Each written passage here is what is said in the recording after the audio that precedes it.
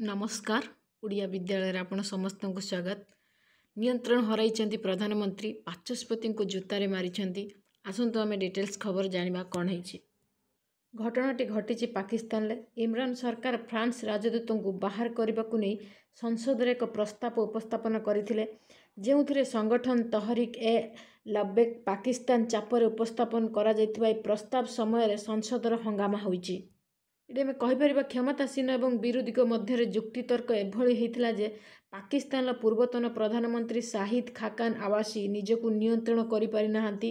ସେ ବାଚସ୍ପତିଙ୍କ ବିରୁଦ୍ଧରେ ଆପତ୍ତିଜନକ ଶବ୍ଦ ବ୍ୟବହାର କରିଛନ୍ତି।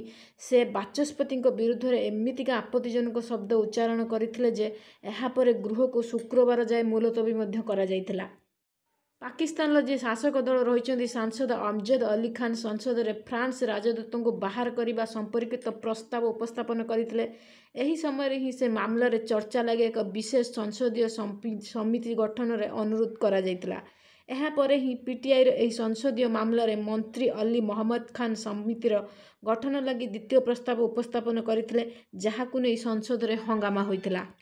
ପୂର୍ବତନ ପ୍ରଧାନମନ୍ତ୍ରୀ ନୱାଜ ସରିଫଙ୍କ ପାର୍ଟି ପାକିସ୍ତାନ ମୁସଲିମ ଲିଗ୍ ଏନ୍ର ନେତାମାନେ ଏହାକୁ ବିରୋଧ କରିଥିଲେ ମଧ୍ୟ ବାଚସ୍ପତି ଅସଦ କୈସର ବିରୋଧୀଙ୍କ ବିରୋଧକୁ ଶୁଣିନଥିଲେ।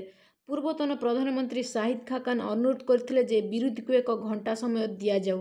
କାହିଁକି ନା ପ୍ରସ୍ତାବ ଉପରେ ସମୀକ୍ଷା କରିବେ। କିନ୍ତୁ ନିଜର ଦାବି ପୂରଣ ନ ହେବାରୁ ସେ ବଡ଼ ପାଟିରେ ଚିତ୍କାର କରିଥିଲେ। ଆଉ ଶାନ୍ତି ପାଇଁ ବାଚସ୍ପତି ଅପିଲ କରିବାରୁ ସାହିଦ ଖାକାନ ଉତ୍ତେଜିତ ହୋଇଯାଇଥିଲେ।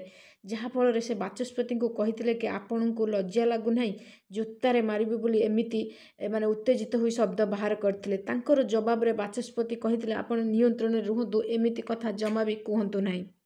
କାରଣ ଜଣେ ପ୍ରଧାନମନ୍ତ୍ରୀଙ୍କର ଏମିତି କଥା କାହାକୁ ବି ଭଲ ଲାଗିନଥାଏ ତେଣୁ ଜଣେ ପ୍ରଧାନମନ୍ତ୍ରୀ ହୋଇ ବାଚସ୍ପତିଙ୍କୁ ଏମିତି ନିୟନ୍ତ୍ରଣହୀନ କଥା କହିବା କେତେ ଦୂର ଠିକ୍ କି ଭୁଲ ନିଶ୍ଚିତ ଭାବରେ ଆପଣମାନେ କମେଣ୍ଟ ବକ୍ସରେ କମେଣ୍ଟ କରନ୍ତୁ।